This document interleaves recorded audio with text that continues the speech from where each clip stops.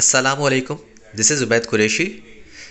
This is HP Pavilion laptop 15T-EG000. I am going to install Windows 10.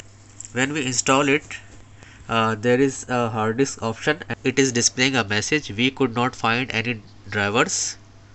To get a storage driver, click load driver. So, what is the issue? There is a controller Intel RST VMD controller. So I have downloaded it from Intel's website.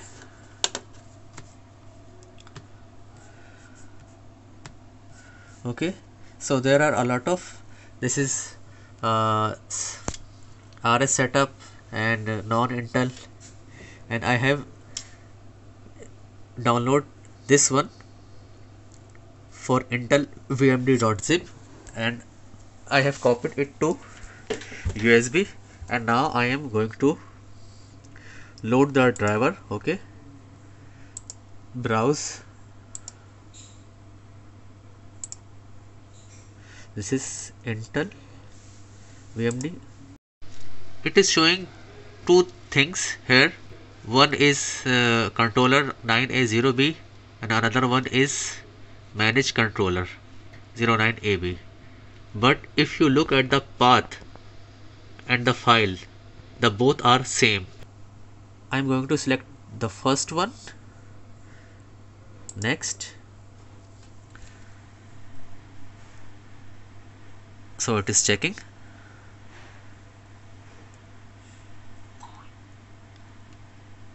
Yes here it is.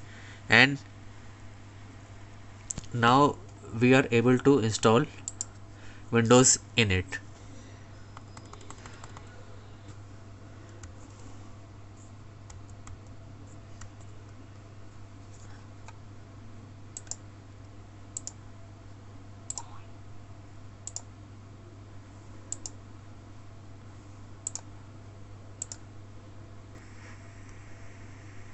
And now I'm selecting this one for the installation.